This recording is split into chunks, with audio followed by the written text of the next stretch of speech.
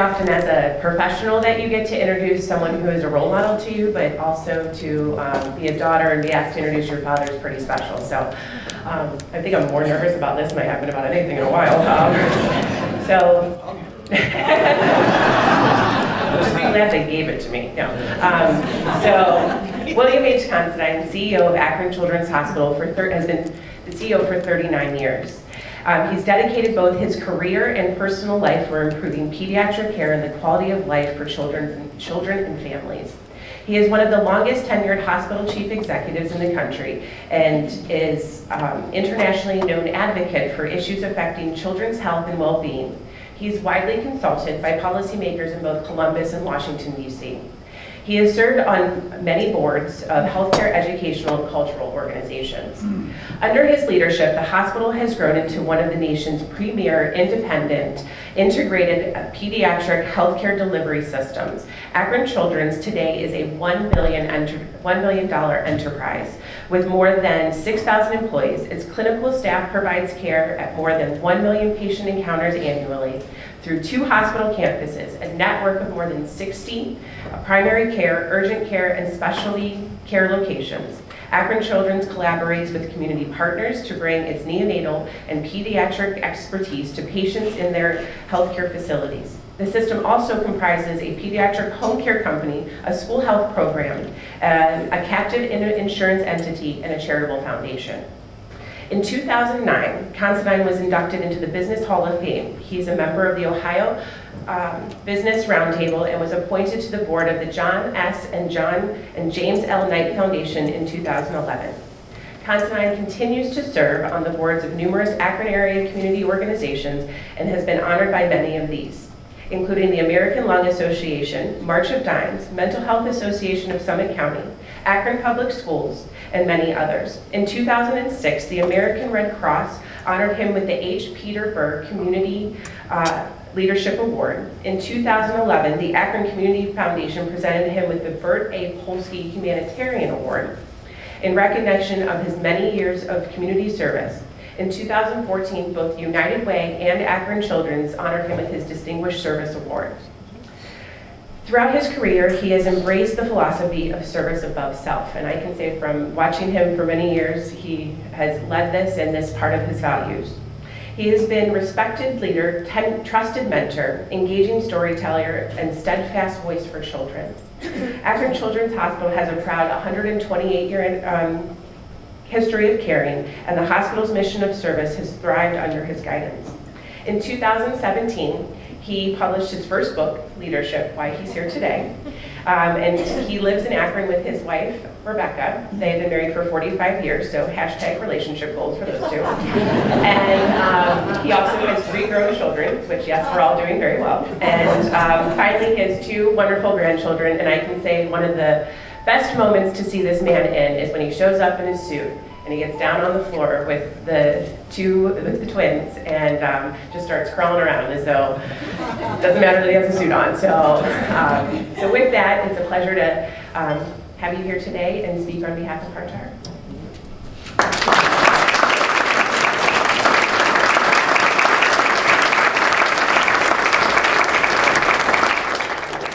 Well, good morning, everybody. And Catherine, thank you for the nice introduction and not telling any stories. the only thing I would add to that is I'm a South Akron kid. This is my town. I grew up here. And I'm standing before you because uh, the people that I interacted with as a child in this community believed in me. And they provided uh, opportunities, they provided new experiences, and they challenged me many, many times to get out of my comfort zone and meet new individuals. And as I look at the audience here today, we have a lot of people in this room that are true leaders, they're mentors, and they're people that believe in our community. Akron is a very proud community, and one of the reasons I'm here before you today is because of that pride. So I want to thank each and every one of you for what you do for our town, I want to thank you for bringing your very best to the game each and every day. And I want to make a special mention to Heart to Heart. And I think of the courage that Dr. Norm and Larry Volleman had when they came up with this idea. They brought the legal profession and the church profession together in a way no one had ever seen, quite honestly, here in this town. And they reached out to all of us. And I know at Children's Hospital, the heart-to-heart groups that we have are very, very meaningful to the people that participate in those. In fact, just yesterday I was talking to one of our individuals who's here today. We were at calling hours for one of our volunteers at Children's Hospital. And she was sharing with me that one of the most meaningful experiences she has, has had at Children's is the heart-to-heart -heart discussion that she has with fellow workers. And that would not have really played out if had not uh, Father Norm and Larry really put this program together. So put your hands together again for this wonderful organization.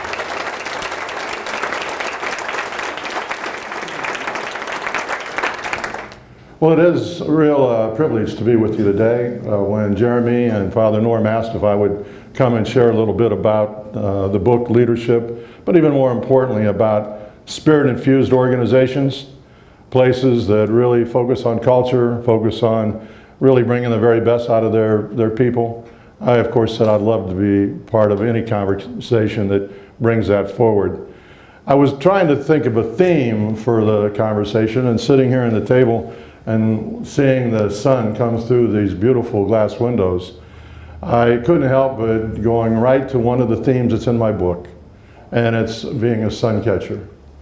So if there's any takeaway from the 25 minutes or so that we'll be talking with one another, I want you to think about the whole aspect of being a sun catcher and ask yourself if you're the type of individual that comes into a room and brings a radiant light with you. If you're the kind of a person really that brings that radio, radiant light into the lives of other folks. And through the listening skills and your other skill sets that you probably have, uh, making yourself even a better person, but even more importantly, helping those that benefit from your interaction with them. Let me give you a little bit uh, background on a journey that led to uh, the leadership book that I'd be more than happy to sign, by the way, if any of you have brought it with you. Um, Many, many years ago, I was asked to give a talk out in Medina, and I went out to give the talk, and what I was told is I was going to be giving a talk on the hospital that was founded in 1890 by a group of women, by the way, from two different churches uh, who came together, and I could tell you a wonderful story there, but that would take all 25, 30 minutes. But I was asked to give a talk, and I got there, and I looked at the program, and the program said that I was going to be talking about leadership traits. And I had not thought about that. I thought I was talking about Children's Hospital and the story of Children's Hospital. So one of the traits that, tricks, I guess I would use that word even more than traits, that I had adopted many years ago is I had put the word leadership in the back of my head and I assigned two words to every letter. And when I thought about leadership, really internally, I'd think about the words that I assigned each of those letters. For example, L, I had two words assigned to that, listen and learn. And I had really picked that up from my mom. How many times my mom would sit me down and just say, sit there, listen and learn. have, have you had that experience along the way? Yeah. I had it many, and I still have it from my daughter and my wife now. But when I was getting ready to come up to the podium, I thought, why don't I just share it with the audience and try to get an interactive kind of conversation going with them. So about 250 people there, and I mentioned, let's talk about leadership. I'd like to hear it from your perspective. So put the word in your head, leadership, and let's start letter by letter. When you see the letter L and you're thinking of leadership, what words do you think of? And various thing, words started being shared by the audience. It was a very successful conversation. Afterwards, people came up and said, I really hadn't thought about it that way. So that was the first time I had taken something I had internalized and shared it with others. It got put back on a shelf for a period of time until we were launching a leadership academy at Children's Hospital. And Catherine, for example, asked me to define leadership. And it was one of those things that came through the email. I had a bunch of other things I was doing, and my definition at the time was leadership is you know it when you see it. That was my definition. I'm right in front of me is Phil Maynard. When I see Phil Maynard, I think of leadership. So the people that were looking at that definition said that doesn't work. You have to be a little bit more specific than that. So Leadership Academy was launched, and uh, one of the first talks I gave was on the word leadership and assigning two words to every letter. And the feedback we received was very positive, and I was encouraged to maybe put that in writing. And that led to, again, the whole process of trying to take that concept and put it in something that was entertaining and helpful to others. The key to it, though, from my perspective, was someone said, Bill, if you're going to do it, bring children's stories to the, the book. And as I've read the book more than once now, I have concluded that that book is really a thank you note. It's a thank you note from me to all the people that have touched my life, starting with my parents, starting with people like Pete Berg. It's a thank you note in there about coaches that I've had, teachers I've had. I gave a talk to a group recently and I was trying to share an experience and I use the word bad, and I do use the word bad in the book in one of the chapters. I talk about bad coaches, I mention bad teachers, uh, you know, bad experiences you have. A teacher came up to me after the talk and said, I really enjoyed what you said, but why did you have to use the word bad? When I read your book, I don't see a lot of negative words in that book, but to her, bad was a negative word. So when I rewrite another edition, I think I'm going to take the word bad out. I mean, I did have coaches that were not good coaches. Maybe they had the right, wrong style. And for me to judge them as bad, that probably was not what I should have done. I have had teachers that did not connect with me. I did have bosses that did not connect or inspire me. No ifs, ands, or buts about that. And the lesson that is in all that for, I believe, everyone in this room is I learned a lot of lessons from those experiences. Matter of fact, I learned more lessons from those experiences than I learned from lessons that were taught to me from men and women that were phenomenal role models. Phenomenal. But those that didn't have the certain skill set or were blessed with certain traits, I could see how they impacted me. I could see how they impacted others. And that told me I got to be different if I ever have that opportunity. So I listened to someone that heard me give a talk about the leadership book. And I can tell you in another edition, I probably won't use the word bad. Because there's not a lot of negative words, I hope, in the leadership book. The key to least the message in there, though, are the stories about the kids. And as I said earlier, this is a thank you note to them. You know, one of the stories that starts the book, and by the way, Father Norm owes me a royalty. I mentioned heart to heart on page 12 of this book. page 12, Norm. I spelled your name right and everything in it. Page 12. Uh, and I do mention in there the whole concept of when you speak heart to heart, what that does for everyone. And I just, again, I saluted once, I'll salute again the wonderful work that this organization does. But the story that kicks off the book is a story of a little girl named Angie. And if you've read the book and have read the story, I apologize for going over it again, but it is the message that I want to leave you today, and that's the message about being a sun catcher. This little girl had a horrible disease. It was a cancer. And it wasn't curable. Yet the family decided they wanted to benefit from more days with Angie. So she did go through the treatments, the chemo and the radiation and every conceivable treatment that was available in those days. Now I'm talking about 30 years ago. Angie would be in her early 40s today. But when she was a patient at Children's Hospital, and she came into the hospital, the whole organization knew she was there.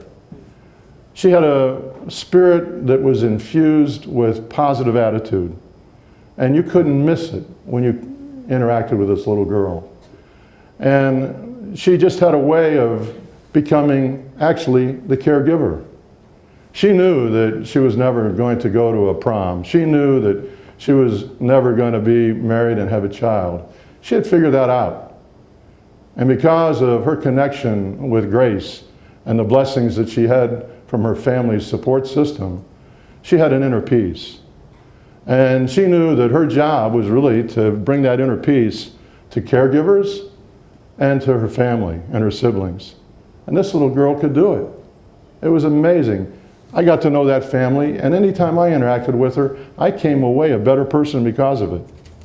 I remember a situation, University of Akron football team, the captains always come and visit the hospital when they have home games. They come on a Friday when they were playing on Saturdays. Now they play all different kinds of days of the week. But they would come on Friday afternoon, see the uh, patients, and then have the game on Saturday. And it just so happened this Friday they came to the hospital. They had, this was their first home game out at Rubber Bowl. Uh, they had had two away games, their money games, and they had lost both of them. Uh, they had been beaten by Virginia Tech, I think, and by Florida. So they were 0 2. So when they came to the hospital, the nurses and everybody knew that Angie was there. Angie was a sports fan, and she would have loved to have seen the team. So they brought the captains up to the floor, and the nurses said, when you go into the room, Angie's wearing a bandana. She's just gone through some treatments. Her eyes are pretty sunken into her head because of those treatments. But this little girl's spirit is phenomenal, so don't feel sorry for her. So they walk in the room, and immediately, the first thing that is said is said by Angie. She says, okay, guys, just because you're 0 2 does not mean you can't win your conference. she gives them a pep talk. And the tears are coming down these big fellas' faces. Uh, Gerry Faust could not believe it. Uh, they come out in the hallway, uh, they're hugging one another.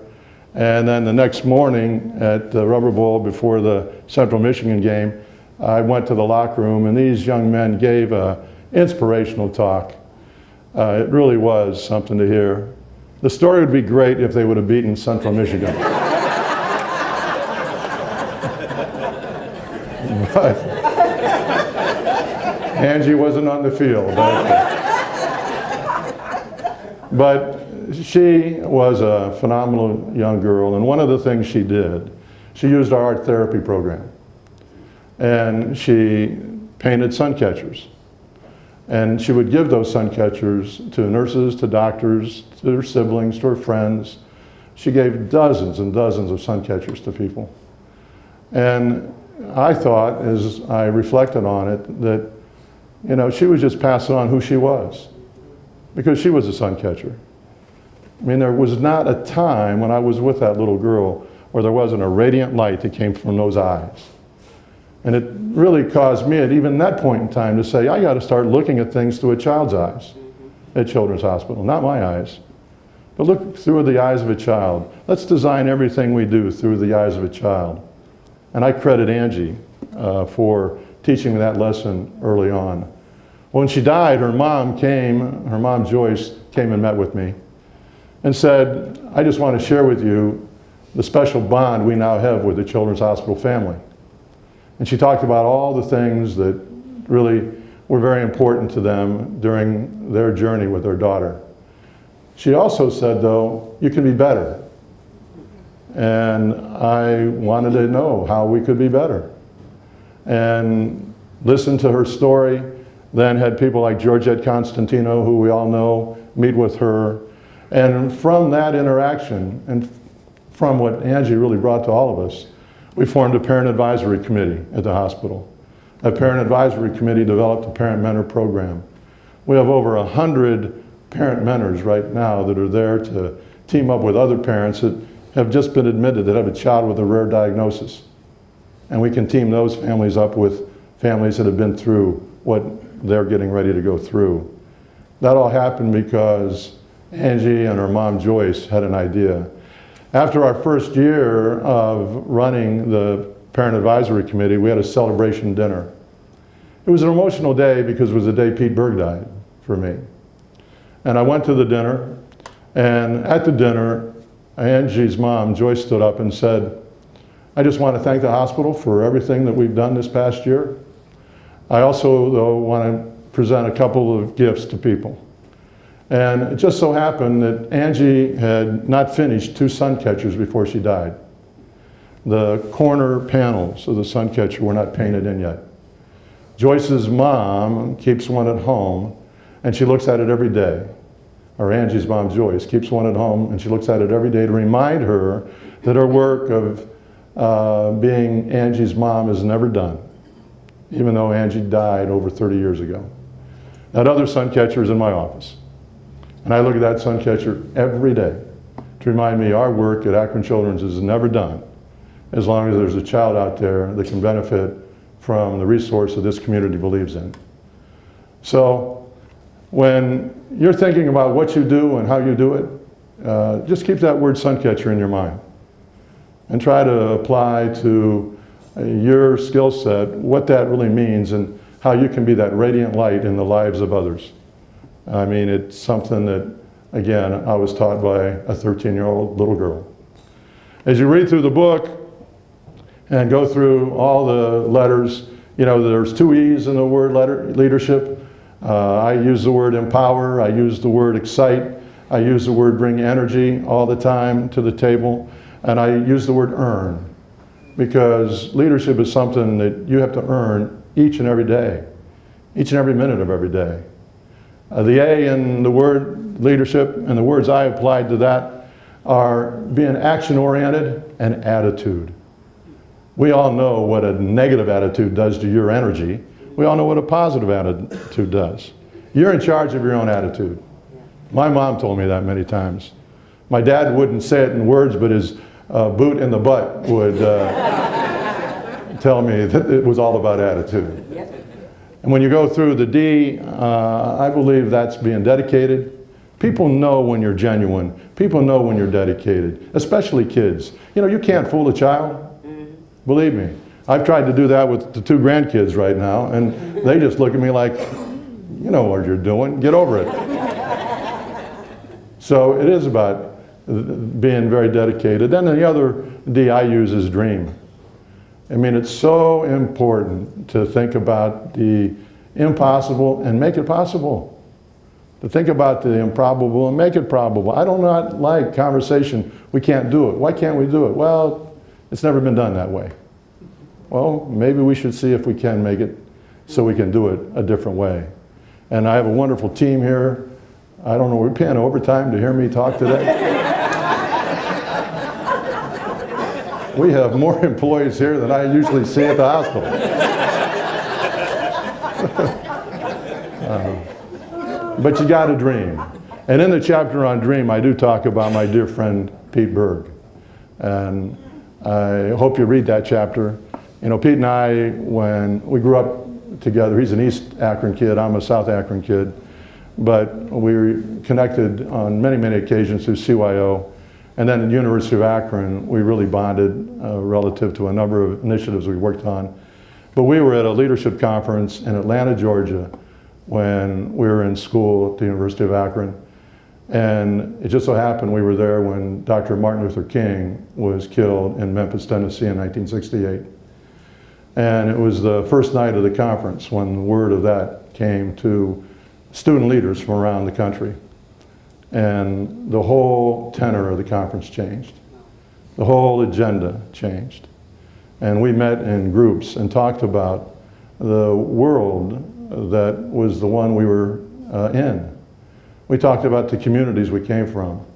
And one night, we all kind of put uh, arm to arm, hand to hand, and we had a vow that we made to one another that as we would go into our uh, communities and then go get our degrees and then go into a career, that we were going to focus not on ourselves, we were going to focus on others. We were going to focus on a community. We were going to focus on justice. We were going to focus on uh, social interaction and civility with one another. And Pete would remind me of that on a routine basis when I came back to Akron in 1979 and we started just talking about the things that he would do you know, Pete was involved in everything. He was a busy man. But if you asked him to do something for Red Cross, he never said no. He always said yes. Then he'd pick up the phone and call me to say yes. And if I said yes, I would pick up the phone and call Pete to say yes. But see, that's what we need to do as a community. Yeah. We do need to do, and we need to do more of that as a community. So there's a wonderful story about Pete in the book. There's some great stories about a young girl, Abby, in the book, um, and the way that she believed in beating her cancer. And her belief was so strong that she did. She beat her cancer, and she's a beautiful mom today to two children. And you just love to hear those kind of stories. So as I'm going through the book, I talk about uh, our, it's all about being respectful in what we do. Respect is the lifeblood of an organization. If you lose respect in your organization, your culture suffers dramatically and you don't get it back. If you use, lose respect in your organization, that spirit infused uh, attitude that generates this inner peace gets lost. Respect is so important to one another. And you always need to make sure that you're the one being respectful. Even when you're disrespected, don't bite back. Get to a higher level. Get to a higher level. When I look at the word, the letter S, uh, servant, we've talked about that. Heart to heart's all about servant leadership. Uh, serve others above self, and you're a better person because of it. And then the other S, the word I applied to it is be a storyteller. People love stories.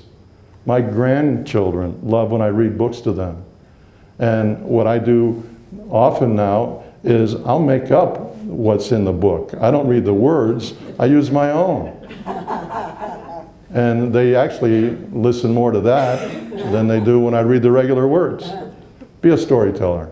We all have stories, especially when you put meaning behind those stories and tie them to an experience. The H, I love two words I put there. One is being humble, share what you do with others, make sure the spotlight hits the people that really need that spotlight and deserve that spotlight. And then the other one is humor. If you can't laugh at yourself, if you can't bring that smile to your work and to your interaction with others, you're missing a wonderful opportunity. And that humor is just so, so important. Uh, you know, when you laugh, it creates, uh, I got a physician over here, he'll tell me it's some kind of endorphin or enzyme that makes you feel better. It is important. So I would do that. The I in there, I do talk a lot about being uh, intellectually independent. Don't just follow fads. We all know right from wrong. And when you see wrong and it's coming from peers and colleagues and others, you're going to feel pressure not to say anything. No, come on, use that intellectual independence to make sure that we're staying on the right uh, road together. And then the other one is improvement. There's a physician in Cincinnati I've gotten to know over the years and done some work with. And when she heard I was thinking of doing a book and putting two words to every letter, she actually said, now when you get to I, don't forget improvement. Because we can never be satisfied with status quo. And in the healthcare world, we could never get away for not talking about how we can be better. Improve, improve, improve. And I know at Children's Hospital, the level of quality improvement that's played out because of our people focusing on that improvement on a day-to-day basis is something we all should be enormously proud of. At Children's Hospital, we're there to heal and do no harm. And when we do harm, and it happens, unintentionally, but it happens, we need to learn from that. And we have. And if you look at surgical site infections have dropped at our place, readmission rates have dropped at our place, medication errors have dropped at our place. Chris Young, our head of chief nursing, nursing officer, she could go on and on and on about all the improvements that are daily occurring at Children's Hospital because of a focus on never being satisfied with status quo, always trying to be better. And we need to do that not only in the organizations we're with, but start with yourself. We all can be better. And then the P, I just talk about what a privilege it is to be in a leadership position, so never take it for granted. And leadership is all about people. I mean, it's all about people, starting with yourself. And never take yourself too serious. Really look at, again, working with others. So there's a wonderful stories in the book about children. I uh, was at a graduation this past two weekends ago. One of the young men I talk about in the book is Caleb. Uh, Caleb is a real inspiration. He just graduated from Firestone High School now, and he has a scholarship to Mount Union. Uh, we went to that graduation party. And the support that he has felt from others, now he is passing on to other people he deals with. He's really a remarkable young man. Uh, a little Ridge Miller, I talk about Ridge, a little boy that spent every Christmas of his life over a five-year period of time at Children's Hospital. He had a horrible, horrible disease, and he never knew it. He was born with it. And when he passed away, I went to the funeral, and his mom, Donna, came up to me, and it was such a wonderful eulogy they had given for Little Ridge. And I asked, you know, I mean, a five-year-old dying is hard. Yet you, you know, painted a picture of such a happy young man. And she said he was. He never knew pain. He thought everybody uh, had pain because he was born with it. But what he learned over a five-year period of time, because he had such a horrible disease, people just came to him all the time to be supportive. And at about an age of two or three, he was starting to give all that love back to other people. And when you went in to visit, visit Ridge in his room, about uh, four years old, he was one of our miracle children because he defied all the odds uh, nationally. But to get into Ridge's room around our radiothon, he had a big old canister. He had to put money in to go visit Ridge. So I walked in one day and I dropped some change in. It went clink, clink, clink, clink. And he said, Mr. C, don't you have any dollars? so we hired Ridge, by the way. He worked in development. Yeah. But, I mean, those stories, that's the essence of the book. And of course, I talk about my parents. My dad passed away four years ago, and we had the service at St. Vincent's. And we did a little poem about my dad, and it was just a phrase, uh, he's my dad. And over my life and those of my siblings, those words, he's our dad, uh, brought a real feeling of security to all of us. Uh, because he was our dad, we felt safe. Because he was our dad, when we went to the house, we lived in South Akron, one could say it was a rough neighborhood but it was our neighborhood. But at home, we were safe. Didn't have to worry about getting beat up. Out in the street, now and then, yes, but never by my dad. And there was just this feeling of being supported. So one of the lessons there is when I walk around Children's Hospital and they call me dad, because I'm getting to be that age now, I take that as a real compliment. And I want our people at Children's to feel safe. I really do. I want them to know that we support what they're doing and we're going to do everything we can to make sure that their job's not threatened. That they're there not worrying about are they going to have a job tomorrow, but they're really worrying about what can I do to treat that child that we're so privileged to be caring for. So I talked a little bit about that lesson in that book. But as I wrapped it up, it's a thank you letter.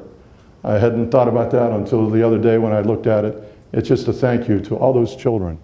It's a thank you to my parents, of course. And as a thank you to this community and all of you.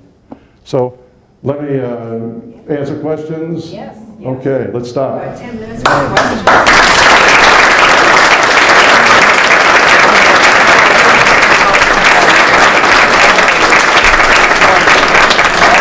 Okay, who has a question? Yell it out there, please. Let's do a wake-up call. I have a comment that I would just love to thank you and the hospital for the doggy brigade. I am on the doggy brigade.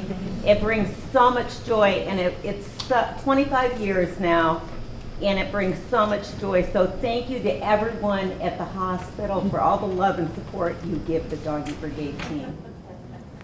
Doggy Brigade is a real home run. You know, when uh, volunteers, and we were founded by volunteers at Children's Hospital, so the best compliment you can give to anybody that's part of the children's family is call them, call them a volunteer. But our volunteers several years ago came up with the idea that they wanted to have a doggy brigade. And no hospital in the country had a canine uh, component to their healthcare program. So the proposal came to our medical staff executive committee, and we used to meet in the evening, went pretty long, and the infectious disease physician and surgeons and others said, no way we're bringing dogs into the hospital. And a couple of our board members said, no, wait, let's pause. Uh, this hospital was founded by volunteers. This is an idea that's come from volunteers. Why don't we try, you know, a three-month trial? So they said, okay. The poor dogs were in that first three-month trial, they went through more testing than a monkey that went to space. it was amazing. Uh, so, you know, we're off and running. And it just so happened there was a little girl that had come in for a routine appendectomy. And she had had some surger- surgery. Uh, okay, I'm on and off. She had some surgery. And when she came out of surgery, you know, she kind of uh, fell back a little bit. Started uh, bedwetting. Uh, she felt, uh, you know, maybe intimidated by her parents. She didn't like what the experience she had. She stopped eating. She wasn't talking to anybody. A routine incision became infected. So she didn't get discharged. She's in the hospital. The infectious disease doctor was working with her. The surgeon that didn't like the idea, a doggy brigade was working with her, and another person on the medical team. And they were at the foot of the bed when a dog walked by the hallway. And the nurse noticed that the little girl noticed the dog. So they brought the dog in. It was a collie. And within about a minute, uh, the collie was in bed with her, which broke one of the rules. But she was petting the collie. The nurse said, Would you like to watch a movie with the, the dog? She said, Sure. All of a sudden, she started talking. She got better. Doggy Brigade solved the problem. so 25 years later, we have the, one of the largest Doggy Brigade programs and a horse, Petey the pony, and now we have Willie Nelson visiting kids. Another story, I'm sorry. Yes? What was the toughest part of your career and how did you get through it? Wow, that's a good question. Toughest part of my career. Well, you know, I've been blessed, quite honestly. When I was hired at Children's Hospital uh, 39 years ago, I'm so happy there's so much I didn't know that I didn't know. Um, because that gave me an opportunity to, again, learn from others and observe. Uh, you know, one of the challenges that is out there, and it's just a challenge, is always getting people to, to believe in the power of collaboration. We can't do it by ourselves. Uh, I've had some failures of collaborative initiatives I've tried to make happen. Uh, and maybe that was it. I tried to make them happen instead of getting people to believe in what that meant for them and them take ownership of it. Uh, but uh, there's no more important time now, I think, than us coming together in collaborative ways. Uh, and, and it's a challenge too. Uh, you know, you, now and then, I've been, since I've been there 39 years, I'll say, who in the heck made that decision? And they all look at me. Uh, so you gotta live up to those decisions. And, and if they're not working anymore, move on, move on. Here's a fraternity brother, I'm in trouble. And what do you see as the biggest challenge in healthcare right now? I as as- Well, that's a, yeah. Well, you know, one of my, and Phil and some board members are going to get a kick out of this, Greg McDermott. I really do worry about the lack of priority we have on our children in our healthcare initiatives. A lot of people do not know and are not aware, even our elected officials, that here in Ohio we have 2.5 million children. 1.3 million of those children are on Medicaid. In the United States, we have 70 million children. 40 million of those children are on Medicaid. Medicaid is the largest uh, funder of health care for kids in this country, and the general public views Medicaid as a welfare program, and they don't want to fund it. And a physician that treats a Medicaid patient is usually paid about 30 to 40% lower than what a physician that treats uh, an adult patient through Medicare. Medicaid is very fragmented. The, there's 50 states, there's 50 Medicaid programs. We're a Medicaid provider in Pennsylvania. We're a Medicaid provider in West Virginia. We're a Medicaid provider here in Ohio. Um, and they're all different. And last year at Children's, we had a patient from every, every state in the United States came to Children's last year. We had 85 of the 88 counties send us a kid to the hospital last year, and we had 22 countries. And there's no rhyme or reason for the payment model for pediatric health care. So one of the things I'm going to try to work on a little more, uh, even next year, is try to get uh, our state, number one, to have a cabinet position that focuses on kids, but to try to spin uh, children out of Medicaid into their own program. And at the federal level, it'd be great if we could do that. But none of that happens fast. Uh, and I don't want to focus just on payment, but I, I do think that if we had a separate initiative around kids' health care, we'd be talking more about obesity. We'd be talking more about the behavioral issues that are going on. We'd be talking more about dental service. We have a program, we're in 30 school districts with our school nurses and school aides at Children's Hospital. Uh, we don't make money on that. But we, as our mission statement says, and our promises say, we need to treat every child as if that child's our own. And when we see stuff coming into our hospital that's a social pathology, not a medical pathology, we know we need to get out beyond our walls and try to make a difference. So that took us into the schools. When we listen to our school nurses and school aides, they'll tell us that behavioral issues are top of the list within the schools and dental. So we opened a dental clinic uh, two years ago, three years ago. We're swamped. And we had 28 different languages last year that our interpreters handled within our dental service. Uh, and there's just so many of those kind of gaps that are out there that I'd like to see closed, and I think it would be closed if we could do something by focusing on kids. Kids' health care, when you look at the cost of health care, there's plenty of money in the system right now, in my mind. Some of my colleagues would disagree with me. But we need to be a little bit more regulated in terms of what we're doing with pharmaceuticals. We need to be a little bit more regulated what we're doing with all these appliances and the like that turn us into, uh, I mean, it's important. I might need a new knee. So you don't, so, you know, you don't say no to those kind of things. But the cost of those appliances and the margins that they run are just out of control right now. Uh, so uh, I think there's a lot we can do, and we want to be part of the solution, not part of the problem. Yes? One more question, that's, okay. I just wanted to say thank you for such a very heart-touching and inspiring presentation this morning. I know it has really impacted me, and you can feel the essence and presence of authenticity, and I wanted to thank you for that. And I also wanted to make a comment regarding when you said connect with grace to have the inner peace. That is very a very profound statement, and based on that statement, I would want to suggest rather than taking out bad if you redo the book, because is bad really bad if we learn from the challenges that life will, will present to us? So maybe rewrite that chapter and use the word, replace the word bad with something, a different word, but show even when we deal with the quote unquote negative as she saw it, in negative, something positive can still come out of it when we connect with the grace to have it. I like that suggestion, and uh, we'll make sure that happens. We really will. Thank you. Thank you all very much. Have a great day.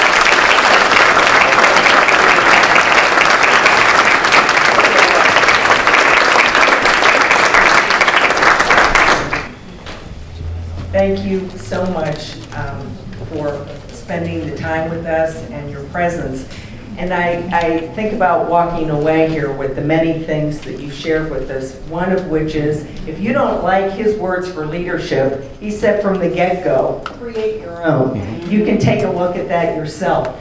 And the other thing is this aspect of uh, what one can do and as an individual and as a collective group of leaders who you said, I'd like us to do more of this, coming together with an intention of building a community of collaboration. And there are many in this room who have worked toward that end, and you are certainly one of them, and thank you for that Thank so you. much. We do have a gift for you from Heart to Heart. I'm sort of dangling it here, um, that represents our gratitude. Thank you so much, and thank you to everybody for being here this morning. Thank you. Thank you.